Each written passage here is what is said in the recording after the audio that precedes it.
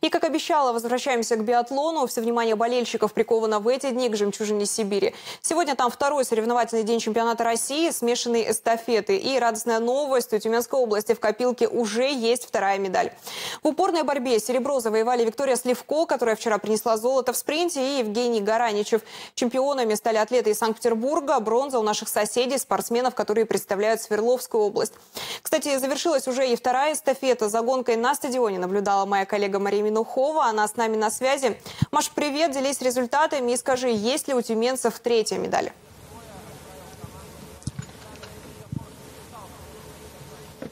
Ксюша, привет! Золото чемпионата России по биатлону в смешанной эстафете отправляется в Беларусь. Ирина Лещенко, Анна Соло, Дмитрий Лазовский и Никита Лобостов выиграли эту гонку с одним штрафным кругом. Белорусы вообще очень удачно выступают на российских соревнованиях. На недавно завершившемся Кубке Союза биатлонистов России в Уфе они выиграли практически все золото. Следом за ними финишировала сборная Ханты-Мансийского автономного округа Югры. А, эту, этот регион представляли сразу же две команды, а тройку призеров замкнула Московская область.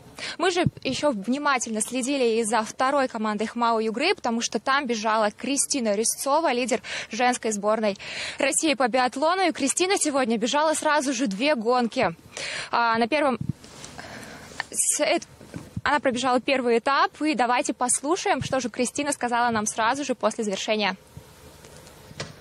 Приняла решение, на самом деле меня спросили, какую эстафету хочешь бежать. Я сказала, хочу и ту, и другую. Ну, вроде сначала в шутку было, а потом они такие, типа, ну хочешь, беги. И я подумала, почему бы не попробовать. Всегда было желание сбегать две гонки в один день, посмотреть, насколько это тяжело. И я тяжелее. Но благо я сегодня, меня получилось распределить силы на все три круга, и финиш отработала. В принципе, очень довольна второй гонкой особенно. А завтра нас ждет небольшой перерыв, но биатлон вернется в «Жемчужину Сибири». 2 и 3 апреля и зрители ждут самые зрелищные гонки. Спортсмены пробегут эстафеты и масс-старты. Прямую трансляцию смотрите на телеканале «Тюменское время». Эти гонки для вас прокомментирует Дмитрий Рубяков. Ксюша.